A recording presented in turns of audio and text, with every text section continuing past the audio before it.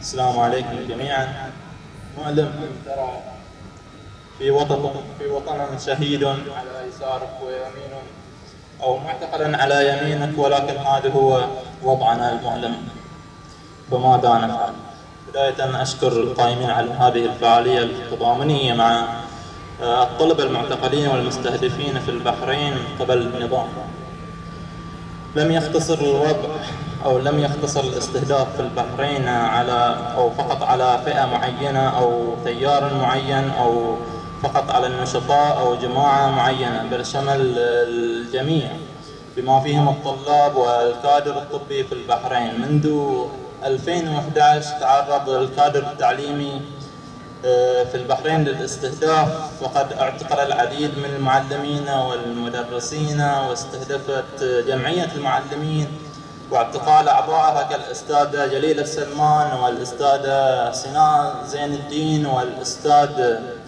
آه، مهدي أبو ديب الذي هو رئيس الجمعية والذي لا يزال آه، أستاذ مهدي أبو ديب هو في السجن ويواجه حكما قاسيا.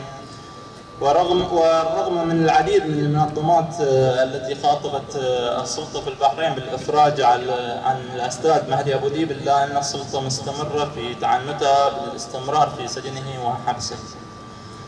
آه، العديد من الطلاب هم في السجن الآن والعديد منهم أو من الطلاب تعرض للتعذيب والعديد من الطلاب تم اعتقالهم من المدرسة وهم على مقاعد الدراسة والذي حقيقة المسؤول الأول عن هذا كل هذه الاعتقالات من المدرسة واستهداف الطلاب هو المسؤول الأول يبقى وزير التربية الذي هو عسكري سابق ولا زال يعمل بعقل عسكري ويدير وزارة التربية بعقل عسكري وهذا ما جعل آه، يعني يكثر من استهداف الطلاب في خصوصا في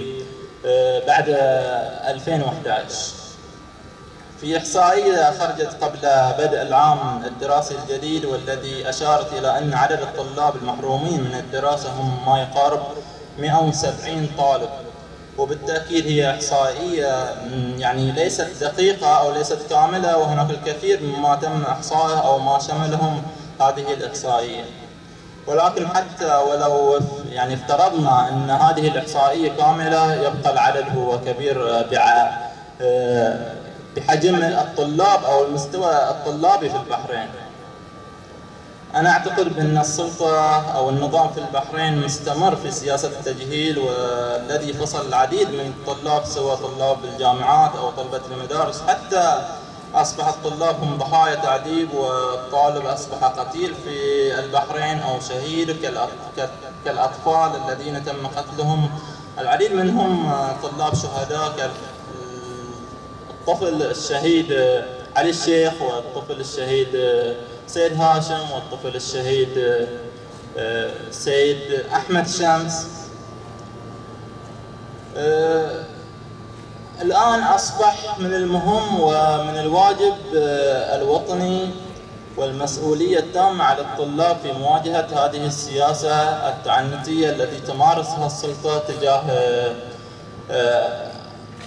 الطلاب والجيل القادم والذي هي حقيقة تريد أن تخلق جيل قادم آه، جاهل لا يعي بحقوقه وعلينا نحن كطلاب ونحث أبنائنا وأخواننا آه، أو أخوتنا بعد في يعني لا يشمل بس الطلاب فئة الأبناء حتى البنات.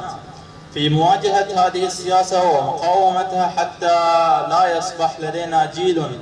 جاهل لا يعي بحقوقه وهو الذي يعمل عليه النظام منذ مشروع آه، آه، تقرير البندر الذي استهدف هذه الفئة. وشكرا لكم.